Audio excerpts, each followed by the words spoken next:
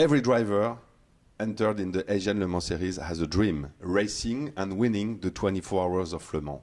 For that, we have created the new LMP3 car, which will be the perfect tool for new drivers coming in endurance racing to get prepared to drive a prototype in long endurance racing.